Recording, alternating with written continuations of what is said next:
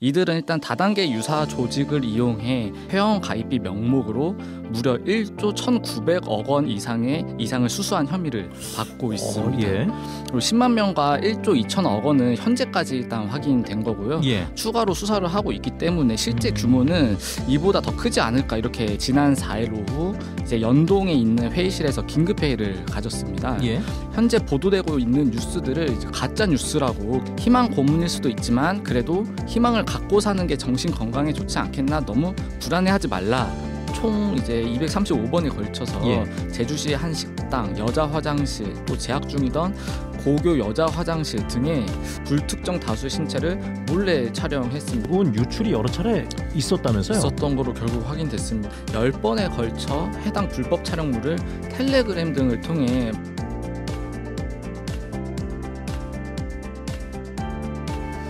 예, 이창준 기자와 함께하는 시간이죠. 주간 뉴스 브리핑 시간. 오늘도 이창준 기자와 함께합니다. 안녕하세요. 안녕하세요. 뉴제주일보 이창준 기자입니다. 예. 자, 지난주에 처음 출연하시면서 다뤘던 소식. C 그룹이라는 곳에 어, 대규모 다단계 금융 사기 의혹이었었는데 이거 후속 취재를 오늘 좀 준비를 해 오셨는 모양입니다. 네, 근데 일주일 그 짧은 기간에 또 많은 일들이 있었던 그렇습니다. 모양이죠. 예. 자 하나씩 짚어보자. 우선 C그룹 논란을 처음 접하신 분들도 계실 테니까 어, 간략하게 설명을 해주시고 어, 이야기 진행해 볼까요? 네. C그룹은 농수축 중심의 사업을 펼치며 전국 회원 23만 명, 제주 회원 1만 명을 보유하고 있다고 합니다.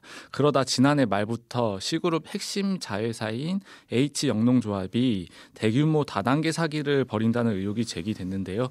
출자금을 2.6배 디지털 자산으로 돌려준다는 예, 식으로 회원을 모집했는데 알고 보니 수익 구조가 없을 뿐더러 재정 상황도 자본 잠식 상태라서 예. 현실적으로 이게 불가능하다는 겁니다. 음, 그래서 선발 투자자에게 줄 돈을 후발 투자자의 투자금으로 메꾸는 돌려막기 논란, 즉 폰지 사기 논란이 일었습니다. 예. 자 지금 제주에서는 이 C 그룹이 타운하우스 건설 그리고 신사옥 설립 등의 그 사업을 확장하고 있었는데 관련된 문제점들도 지난주에 한번 짚어 주셨습니다. 그렇습니다. 근데 지금의 그 우려처럼 제주 회원들이 배당금, 가맹점비 이런 거 받지 못하고 있다. 그래서 피해를 호소하고 있다. 이 상황이 지금 현실화되고 있는 거죠. 예, 맞습니다. 그 이후 이제 C그룹이 내부 분열까지 되면서 네. 제주까지 그 영향이 미쳐서 아수라 아수라장이 됐다고 이제 말씀을 드린 바 있는데요. 예. 어, 이번에 일고 있는 논란은 C그룹 제주 관리자들이 예. 어, 회원들을 상대로 일명 희망 고문을 하고 있다는 것입니다. 희망 고문. 네. 그런데 지난번에 그 제주 관리자들 있지 않습니까? 어, 사측의 권고 사직 요청으로 전부 퇴사했다고 말씀을 하셨던 것 같긴 한데 아직도 그럼 관리자 역할들을 하고 있다는 얘기입니까? 네, 그러니까 이제 C그룹이 분열된 게 크게 본사, 예. 지역 관리자, 그다음에 회원 비상 대책위 이렇게 총 세 개로 나눠졌는데요. 예. 어, 제주의 경우에는 관리자들이 회원 비대위에 합류했다고 말씀드린 바 있습니다. 예. 어, 그래서 결성된 게 제주 비상 대책위원회인데 네. 이 제주 비대위가 지난 4일 오후 이제 연동에 있는 회의실에서 긴급 회의를 가졌습니다. 예. 음, 제가 그 회의에 이제 뭐 직접 들어가지는 못하고 예. 이런저런 경로를 통해서 이제 녹취록을 녹취록을 입수했는데요. 예. 단순 희망 고문 수준을 넘어서 어떤 법률적으로 문제가 있을 만한 음. 이야기들이 오고 갔습니다. 예. 그 제주 비상대책위원회 말씀하셨는데 여기에 그 말씀하셨던 관리자급들이 들어가 있다는 네, 말씀이신 맞습니다. 거죠? 예. 어떤 내용들이 오고 갔습니까? 어, 일단 먼저 중간 관리자급인 플랫폼장이 예. 전직 플랫폼장이 자 이제 현 직 이제 비대위원장으로 있는 A 씨가 있는데요. 어, A 씨는 이제 심란해하는 회원들을 다독이고 현재 보도되고 있는 뉴스들을 이제 가짜 뉴스라고 규정해 버렸습니다. 예. 그러니까 A 씨는 회원들에게 희망 고문일 수도 있지만 그래도 희망을 갖고 사는 게 정신 건강에 좋지 않겠나 너무 불안해하지 말라 이런 식으로 우- 운을 뗀뒤 예. 어, 유튜버들 이거 눌러줘서 좋아요 눌러줘서 350만 원 벌어 간다더라 신문 기자도 완전 신났다 가짜 뉴스에 대해서 엄정 대응할 것이다 이런 말들을 했습니다. 그 지난주부터 제가 여기서 나오는 말이 문장들이 잘 이해가 안 되는 문장들이 많아서 상식선에서 네. 일단 아까 뭐죠? 가짜 뉴스라고 한 거는 이창준 기자의 뉴스 같은 것이 다 가짜 뉴스란 얘기고 그렇겠죠. 예. 예. 가짜 뉴스면 이건 이창준 기자가 책임지면 되는 거고. 그렇습니다. 근데 희망 고문일 수도 있는데 희망을 갖고 사는 게 정신 건강에 좋다고요? 예, 뭐 그런 식으로 얘기를 했습니다. 심리 상담이에요? 음, 이거는 이게 좀 이해가 잘 안 되는 부분들인데 신문 기자도 완전 신났다? 이것도 이창준 기자 얘기하는 겁니까? 그러, 그런 것 같습니다. 예. 알겠습니다. 근데 뭐 다 좋습니다. 근데 지금 뭐 제대로 된 해명이 있고 의혹들 중에 아닌 걸로 할- 밝혀진 게 있으면은 희망 갖기가 좀 좋을 것 같긴 한데 네. 그게 없잖아요. 그냥 막연하게 희망을 가져야 된다. 언론 보도는 가짜다라고 하니까 네. 이거 당사자들은 어떻게 받아들일지 모르겠습니다. 그러니까 저도 이제 종종 항의성 장문의 예. 메일을 이메일을 받곤 하거든요. 예, 근데 저도 홀- 설령 뭐 제가 잘못 전달한 게 있을까 싶어서 되게 꼼꼼하게 읽어봅니다. 예. 그런데 막상 읽어보면 뭐 기사 내용이나 뭐 팩트에 관련된 거 이런 거에 대해서 음. 반박하는 거는 하나도 없었고요. 예, 예. 전부 다 인신 공격뿐이더라고요. 음, 일단 그 좀 조직을 갖춰놔야 제대로 갖춰놔야겠다라는 아마 아, 생각인 것 같긴 예. 한데 자 지금 뭐 얘기 나온 거는 좀 회장이 구속이 돼 있잖아요. 네네네 그렇습니다. 여기서 이제 그 전에 지난주에 얘기하실 때 아마 관리자급일 것 같은데 네. 한 사람이 그 회장인 B 씨를 꺼내는 게 우선이다. 네네네. 그리고 그 B 씨, B 회장을 만나서 희망의 메시지를 전달받고 오겠다라고 했던 게 제가 기억이 나는데. 네, 맞습니다. 그래서 어. 그 8일쯤 예, 이제 예. 그 회장을 만나가지고 예. 어 실제로 뭐 희망의 메시지를 받아 오겠다 이런 식의 얘기를 예, 예. 했습니다. 그러니까 그 A 씨는 회원들에게 회장이 재산을 팔아서라도 너희들을 해결하겠다라는 예, 예. 희망의 메시지가 주, 메시지만 주면 우리는 기다리겠다라고 음, 말할 거다. 예, 그러면서 이제 회의 끝에는 모두 다 화이팅 합시다. 우리는 하나다. 이렇게 좀 크게 외치기도 했습니다. 그러니까 이런 종합적인 어, 상황들을 보면 어, 어떤 회장을 언급함으로써 예. 뭔가 불안해하는 회원들의 심리를 안정시키고 회원들을 결집시키고자 한 것으로 이제 보입니다. 그러니까 뭐 사제를 팔아서라도 이 문제는 해결하겠다라는 네. 메시지를 받아오겠다라는 받아오겠다라고. 거죠. 네. 우리는 하나다. 네. 그 서울의 봄에 나왔던 대사 같기도. 한데. 예, 하나의 어떤 그게 영상 연상되기도 합니다. 조배죽도 좀 연상이 되고요. 그렇습니다. 음, 어쨌거나 또 어떤 말 했습니까? 어, 이뿐만 아니라 이제 비대위는 가맹점을 운영하는 회원들에게 예. 가맹점 일부를 지급했었다. 그러니까 음. 이제 나머지 금액도 예. 곧 지급할 계획이라고 주장을 했는데요. 사실 이거에 대해서도 역시나 막연한 예. 그냥 주장일 뿐입니다. 그러니까 현금을 보여주면서 이걸 주겠다가 아니라 그렇죠. 일단 줄 테니 까 믿어라라는 얘기잖아요. 자, 지금 제주 경찰청에 피해 진술이 잇따르고 있다고 들었는데 맞습니까? 맞습니다. 이렇게 관리자들이 말을 하고 있음에도 불구하고 이제 실제 제주 경찰청으로 피해 진술이 잇따르고 있는데요. 예. 어, 제주 경찰청에 따르면 현재까지 이제 C그룹 제주 투자자 수십 명의 피해 진술을 접수한 상황입니다. 이제 다만 경찰 관계자는 사안이 좀 예민하다 보니까 구체적인 것에 대해서는 설명할 수 없다 이렇게 하며 말하며 좀 어, 신중한 입장을 보이고 예. 있습니다. 아니, 그러니까 뭐 아직 수사 결과가 나온 것도 아니고 개인정보 문제가 있을 테니까 그렇습니다. 당연히 조심스러울 수밖에 없는 건데 네. 예, 저도 이 관련돼서 좀 찾아봤더니 좀 언론 보도가 꽤 여러 건이 좀 잇따르고 있더라고요. 네. 다른 지역에서도 그렇고 네. 어, 그 C그룹 회장 네. 구속돼 있는 C그룹 회장을 비롯해서 관계자 4명을 검찰이 방문 판매법 위반 혐의로 구속 기소하고 6명을 불구속 기소했다. 이 소식까지는 나온 걸로 제가 아는데. 예, 맞습니다. 저도 11일 서울중앙지검과 서울시 민생사법경찰단을 통해서 예. 내용을 하나하나 확인을 했는데요. 이들은 일단 다단계 유사 조직을 이용해 약 10만 명으로부터 예. 회원 가입비 명목으로 무려 1조 1,900억 원 이상의 이상을 수수한 혐의를 받고 어, 있습니다. 예. 그리고 10만 명과 1조 2천억 원은 현재까지 일단 확인된 거고요. 예. 어, 서울 서초 경찰서가 사기 및 유사수신 관련 혐의에 대해서도 추가로 수사를 하고 있기 때문에 실제 음. 규모는 이보다 더 크지 않을까 이렇게 예상이 됩니다. 이와 함께 이제 또 H 영농조합은 농축축 농, 농수축산물 등 거래를 예. 하는 것처럼 가장을 했는데 실제로는 금, 금전 거래만 이뤄진 것으로도 확인됐습니다. 예. 그래서 검, 앞, 앞서 검찰은 서울시 민생사법경찰단으로부터 사건을 넘겨받아 방문 판매법 위반 혐의로 먼저 이제 기소를 한 건데요. 예. 어, 다만 이런 종합적인 상황에 대해서 이제 제주의 경우에는 어, 서울중앙지검과 서울시 민생사법경찰단 모두 이제 구체적으로 말을 할 수는 없다 이런 음. 입장을 보이고 있습니다. 지금 이 기자 말대로라면은 지금 나온 게 이 정도고 네, 더 나올 수 있는 가능성이 가능성이 굉장히 크다. 그렇습니다. 알겠습니다. 자, 뭐 다시 한번 좀 짚어본 내용들인데 어, 글쎄 이게 좀 어떻게 결론이 나올지 모르겠습니다만은 아까 그 제가 권고 사진 얘기했었잖아요. 네네, 그 C 그룹의 그 H 영농조합 이건 뭐 제주에서 지금 운영되던 거니까 네네네. 관리자들에게 당초에 이제 권고 사직을 요구했었는데 이것도 또 일부 철회를 했다. 그렇습니다. 그러니까 관계자들 전화 통화가 닿질 않아서 제가 예. 어, 구체적인 내용은 확인하지 못했습니다만 이제 H 영농조합발 인사 명령서가 이제 투자자들 사이에서 이렇게 돌아다녔습니다. 제가 예. 그것을 확보를 했는데요. 여기에 핵심 내용이 기존의 본부장을 중심으로 업무를 추진하라는 회장의 명에 따라 예. 어, 권고 사직된 본부장들을 즉시 원대 복귀 발령한다 이런 내용이었습니다. 그러니까 음. 이게 사실이라면 제주 본부장도 다시 업무 복귀를 해야 하는 것이고요. 예. 그렇다면 또 본부장 외 관리자급인 단장, 뭐 매니저, 플랫폼장 등의 거치도 변동이 있을 수 있는 거죠. 그러니까 이런 정신없는 상황 속에서 결국 피해를 보고 혼란을 겪는 거는 또 제주 지역 투자자들, 뭐 회원들인 것이죠. 예. 회장의 희망의 메시지는 아직 못 받아갔고 네, 다시 그냥 업무를 추진하라는 명은 받았다. 네. 원대 복귀 발령. 뭐 군대식 용어들이 그렇습니다. 들어가 있습니다. 여기에 보니까. 예.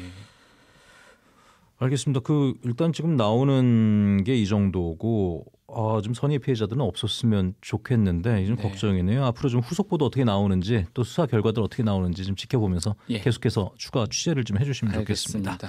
자 다음 소식으로 넘어가 보죠. 어떤 내용이죠? 지난해 말부터 이제 제주 지역 사회를 발칵 뒤집어 놨던 모 고등학교 학생의 불법 촬영 사건에 대한 재판이 아, 열렸습니다. 예, 예. 예, 재판을 통해 이제 이 사건이 굉장히 규모가 컸던 것으로 확인됐는데요. 예. 먼저 간략하게 사건 개요부터 설명드리겠습니다. 지난해 10월 18일 어, 제주 모 고등학교 체육관 여자 화장실에서 불법 촬영을 위해 설치된 것으로 의심되는 휴대전화가 발견됐다는 어, 한, 한 교사의 신고가 접수됐습니다. 예. 교사는 화장실 칸 바닥에 갑티슈가 놓여져 있는 것을 좀 이상하게 여겨서 내부를 확인해 봤더니 그 안에 카메라 렌즈가 흔들리지 않게 고정돼 있는 것을 확인했습니다.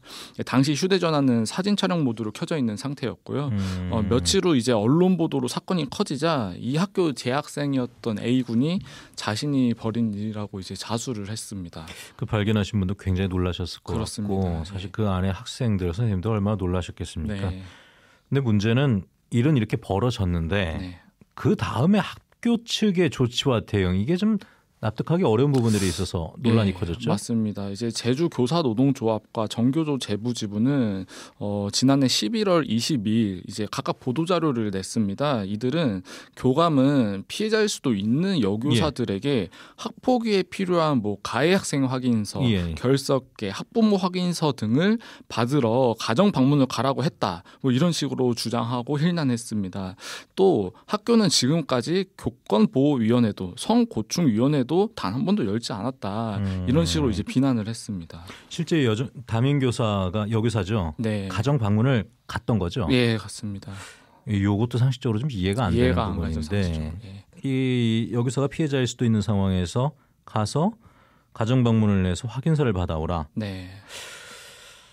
이 굉장히 그 나중에 좀 고통에 시달렸던 걸로 알려져 있는데 네. 근데 뭐 그 해당 교사가 병가를 신청도 했었다면서요. 네, 그렇습니다. 근데 이걸 교감이 반려를 했고 네. 지금은 외상후 스트레스 장애 3개월 진단을 받아서 다시 또 병가를 신청을 네. 했는데 네.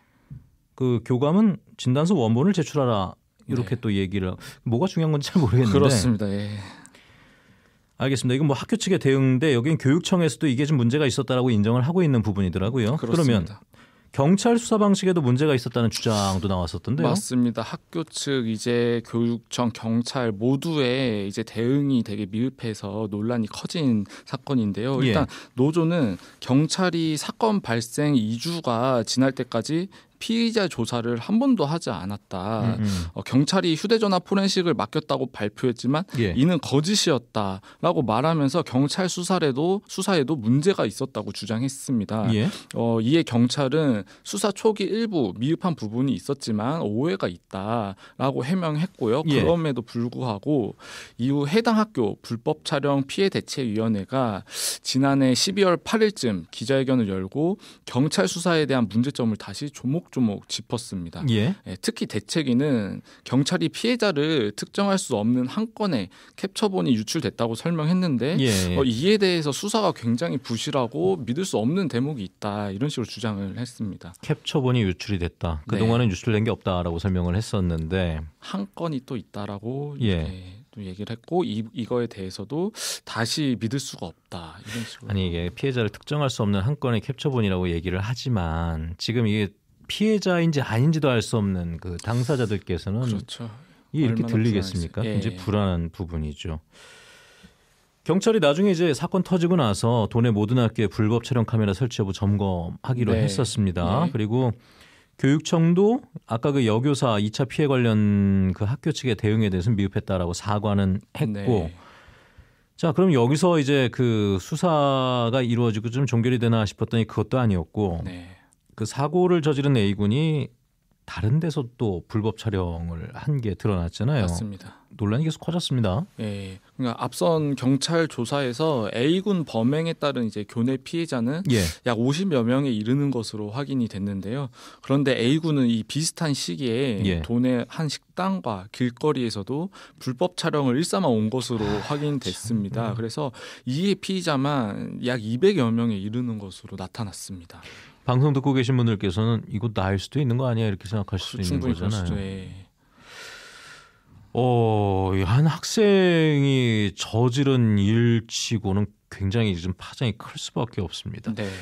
재판이 열렸어요, 10일에. 네. 이 A군 사건에 대한 재판이 열렸는데 검찰이 중형을 구형했더라고요. 네, 맞습니다. 검찰은 지난 10일 제주지방법원 형사 3단독 심리로 열린 공판에서 성폭력 범죄 처벌 등에 관한 특례법 위반 등의 혐의로 구속 기소된 A군에게 징역 장기 7년, 단기 4년을 선고해 달라고 재판부에 요청했습니다. 이와 함께 성폭력 프로그램 어, 성폭력 치료 치료 프로그램 미수, 예. 그다음에 10년간 아동 청소년 관련 기관과 장애인 복지 시설 취업, 취업 제한 등의 예. 명령 등도 이제 구했습니다. 우리가 보통 이제 학생들의 잘못에 대해서 이루어지는 부분에 대해서는 좀 관대한 측면들이 있었는데 네. 좀 중형을 구형을 했네요 그렇죠. 보니까 예. 그 내용 보면서 저도 좀 깜짝깜짝 놀라는 게 많은데 이 공소 사실을 보니까 그 A 군이 불법 촬영한 획수가 235번이요? 맞습니다. 공소 사실에 따르면 A군은 지난해 9월 15일부터 10월 18일까지 총 이제 235번에 걸쳐서 예. 제주시의 한 식당, 여자 화장실, 또 재학 중이던 고교 여자 화장실 등에 어, 동영상 촬영 기능이 켜져 있는 휴대전화를 설치해서 불특정 다수의 신체를 몰래 촬영했습니다. 그 횟수만 200, 어, 200번, 당초 200여 번이라고 했던 것보다도 더 예. 많은 예, 횟수였던 걸로 나타났습니다. 자 여기서 이제 가장 크게 문제가 되는 게 촬영은 했는데 네. 그냥 다 수거가 됐느냐 아니면 이게 유출이 됐느냐 이게 2차 피해로 이어질 수 있는 거라서 그렇죠. 굉장히 큰 문제인데 네. 처음에 뭐 있다 없다 말이 좀 많았었는데 결국은 유출이 여러 차례 있었다면서요? 있었던 거로 결국 확인됐습니다. 그러니까 A군은 지난해 10월 10일부터 14일까지 총 예. 닷새간 10번에 걸쳐 해당 불법 촬영물을 텔레그램 등을 통해 반포한 혐의도 이제 받고 있습니다. 텔레그램입니까 또 이것도? 그렇습니다. 어 이거 굉장히 큰 사건이 돼 버렸는데 네. 일단 그 법원에서 법정에서 A군 또 변호인 측이 혐의를 다 인정하고 네. 용서를 구했다면서요? 맞습니다. 이제 재판 내내 고개를 숙이고 있던 A군은 피해자분들께 정말 죄송하다, 용서를 구하고 싶다 이렇게 말했고요. 음. A군의 변호인도 피고인이 자수한 점, 수사 초기부터 적극 협, 협조한 점, 예. 미성년자임을 감안해서 형을 참작해달라 이렇게 선처를 호소했습니다.